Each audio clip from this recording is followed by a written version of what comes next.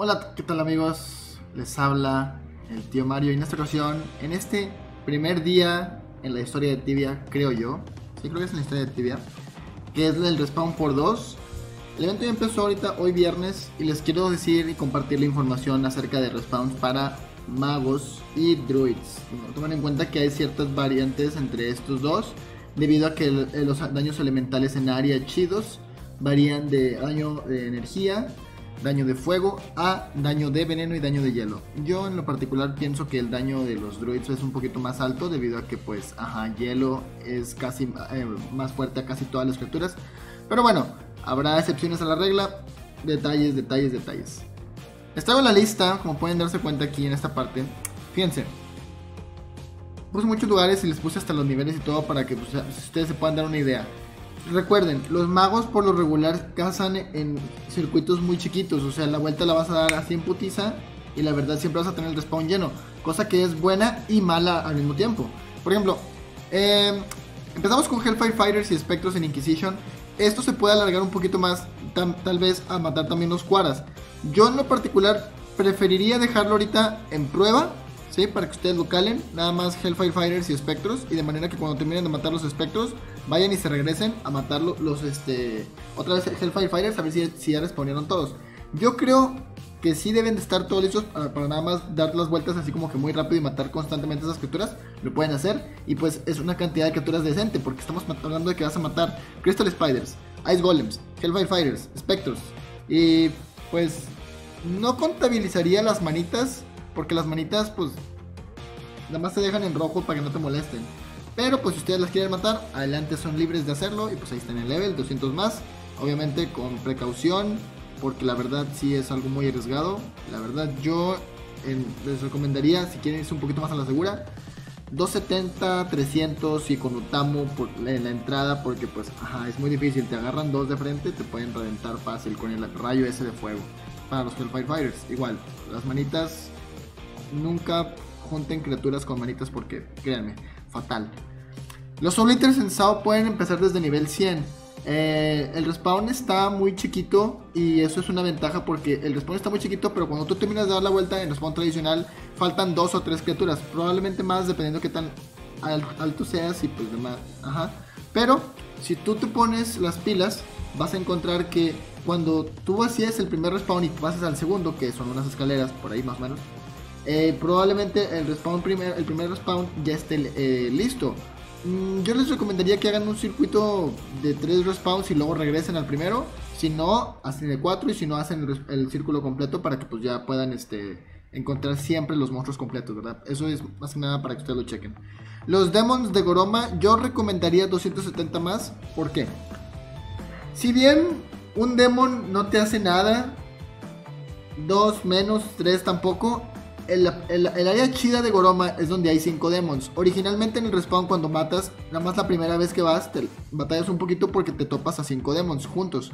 Eh, y obviamente después de eso ya puedes matarlos más tranquilo porque tienes que matar en grupos de 2 o de 3 en el área grande que son 5.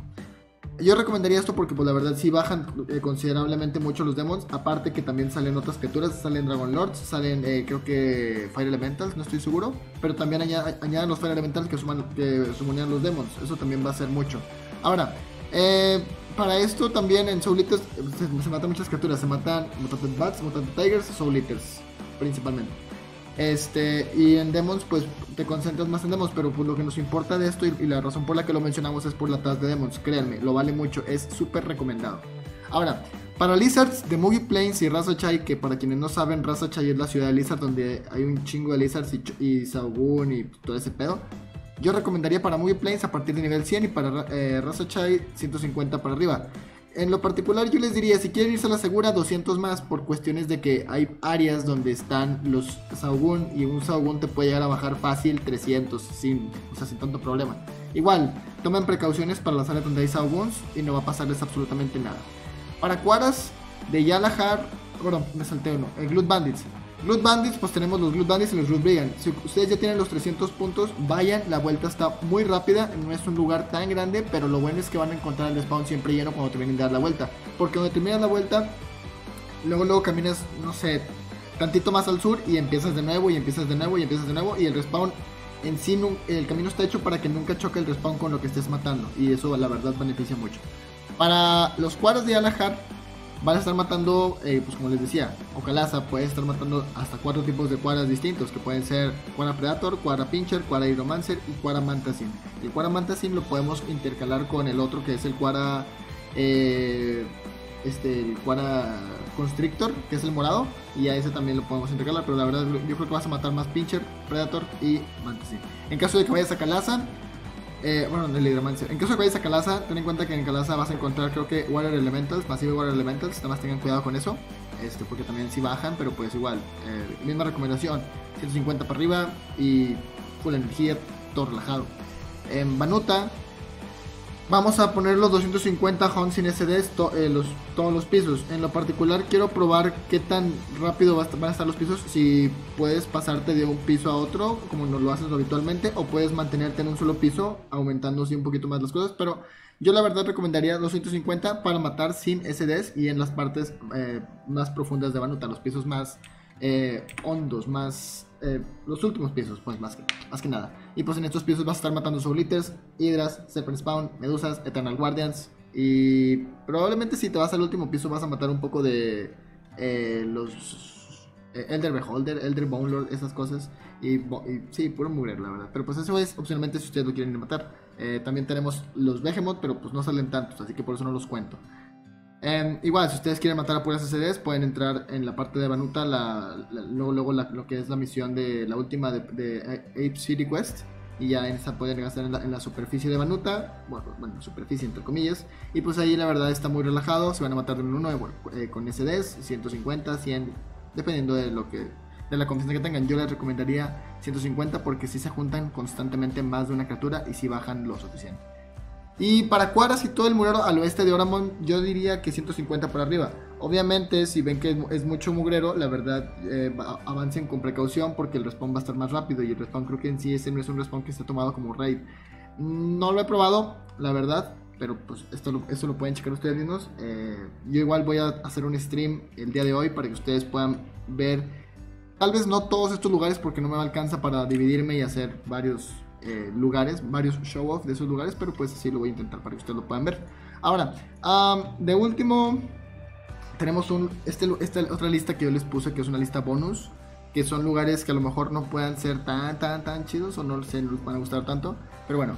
Tenemos Okolnir en Sbarground. Okolnir es una isla donde hay eh, Frost Dragons. Hay Frost Dragon y Frost Dragon Hatchling. La verdad es un lugar decente. Hay buena cantidad de monstruos y pues si aparecen relativamente rápido, mejor.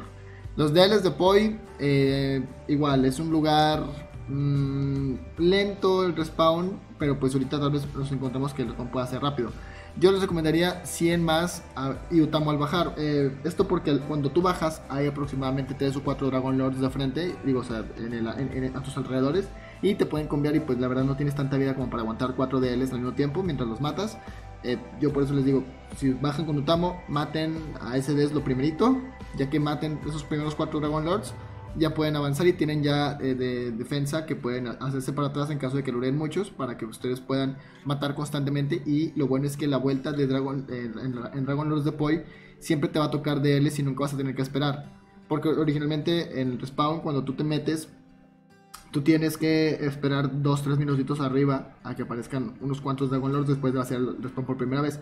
Probablemente con esto no tengas que esperar absolutamente nada de tiempo, lo cual va a estar chingón porque vas a poder aprovecharlo, pero pues ustedes sabrán si se acomoda o no se acomoda a sus necesidades.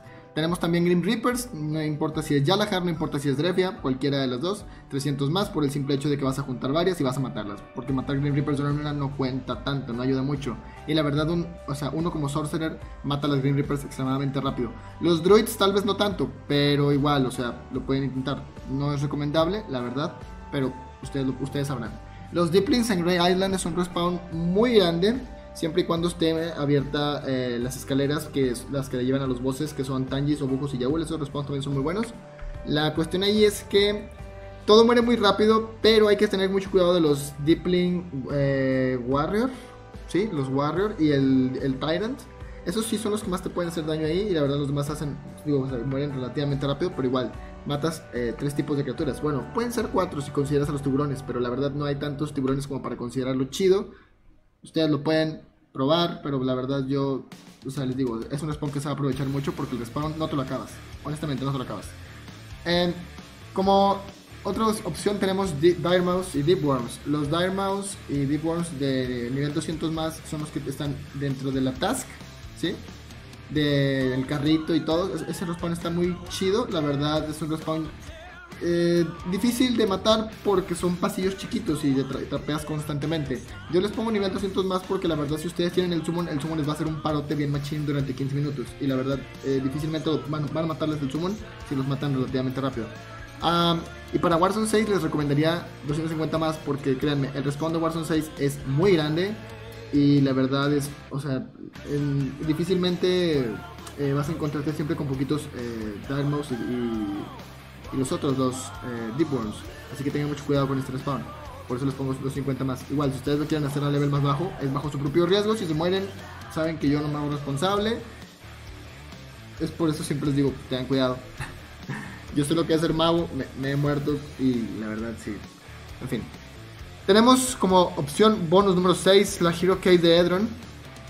Y la verdad les debo decir que este lugar está con madre porque matas relativamente rápido todo. O sea, avalanche de volada. Y la verdad es un respawn chiquito y le das la vuelta rápido. Y la verdad siempre vas a encontrar el respawn listo para vaciarse. La verdad, ya sea en los, estés en nada más en el último piso o estés en los últimos dos pisos. Eso también ayuda mucho. Pero pues igual cada quien sabe cómo se avienta la vuelta. Si puede o no puede, etcétera, etcétera, etcétera. Y pues además de que matas demasiadas criaturas, matas Heroes, matas este Blood Priest, matas Necromancer, matas los monstruos que salen ahí, no, me acuerdo el nombre, pero son como tres tipos de monstruos distintos. está bien, la verdad. Son muchos, son muchos monstruos y demasiados puntos al bestiario. Más 10, la verdad. Y pues como último, saben que yo siempre les digo War Golems y siempre me tiran bullying en los grupos y todo porque siempre recomiendo War Golems. Amigos, War Golems es buen lugar, o sea, salen un chingo, dinero fácil y la verdad, si no tienen nada más que hacer y quieren nada más dinero y quieren y no tienen y no quieren esperar por el respawn, vayan a War Golems, el respawn chido, claro, el que ocupas meter cuatro engranajes, eh, cuatro herramientas ahí en una maquinita. Ese respawn está con madre, ya sea el de la derecha o el de la izquierda. La verdad, difícilmente tienes que, tienes que esperar por el respawn eh, si, tú lo vacías, pero con esto va a estar siempre lleno y la verdad va se va a aprovechar al 100% y la verdad el aumento que puedes lograr es más o menos decente.